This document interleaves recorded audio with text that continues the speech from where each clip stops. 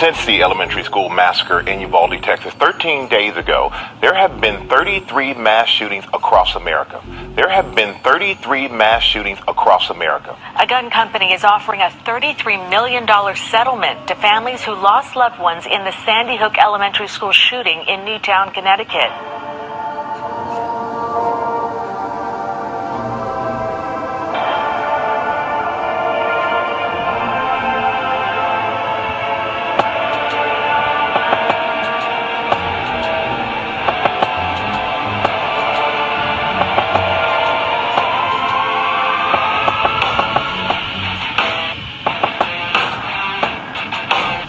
Are now 33 confirmed cases of the coronavirus in Michigan.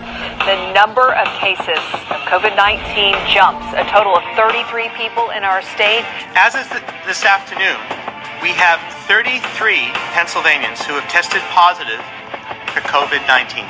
For our update today, we have 33 new uh, cases who have tested positive for COVID 19. There were 33 new cases. And the state of Minnesota today reported 33 new COVID 19 related deaths. The number of confirmed COVID 19 cases in Rhode Island jumps by 33 overnight. School officials say 33 high school students tested positive for COVID 19. We've also learned at least 33 people have died from COVID 19 complications. 33 states have seen an increase in COVID 19 cases. Across the country, infections now on the rise in 33 states. A new lockdown has been triggered for 33 million people. At least 33 countries have detected COVID 19 cases linked to the mutated variant. The State Department of Public Health reported 33 new cases of COVID 19 on Tuesday. Hospitalizations and potentially more deaths because of highly transmissible strains.